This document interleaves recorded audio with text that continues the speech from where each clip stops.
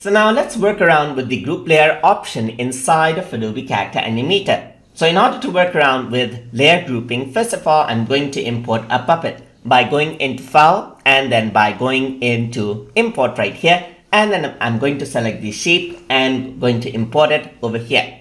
So once I do that, I'm just going to double click and here you go. Here are my shapes as you can see and all of them are in different layer.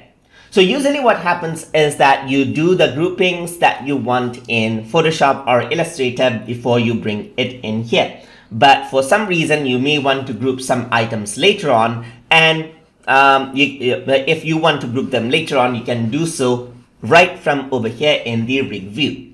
So for that, what I'm going to do is, let's say, for example, I want these two objects to be grouped. So this is layer 10 and this is layer 11. So I can select both of these and then I can go around into Puppet and then over here you can see group layers is an option. Once you click on it, what happens is that both of the layers are grouped as you can see right here. So I can go around and change around the group or I can select the entire group and move it.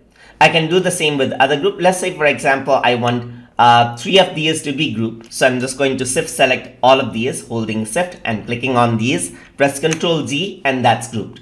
I'm going to do the same with these three, Ctrl Z and that's grouped. Select these three and then Ctrl Z, that's grouped as you can see right here. And now each of them are grouped as you can see right here. You can also go around and then double click on the group to edit um, um, edit them individually as well. I can also go ahead I can rename the group as well. Let's say, for example, these are the platforms, for example, and this is how you can work around with the group. And that is how you can group layers inside of Adobe Character Animator. So if you guys learned something as always, and as always, please like, comment, share, and subscribe.